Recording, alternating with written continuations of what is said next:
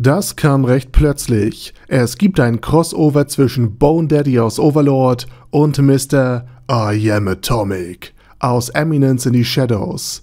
Das Ganze ist ein Halloween Body Swap Special geworden und Eins und Sid haben quasi beide die Körper getauscht und wacht im jeweils anderen auf. Aufwachen. Ihr wisst, was ich meine.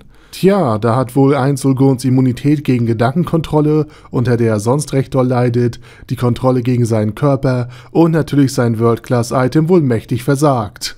Spaß beiseite. Das Ganze ist ein kleines, lustiges Was wäre wenn Video, gezeichnet im Chibi-Style, wie auch schon Isekai Quartett.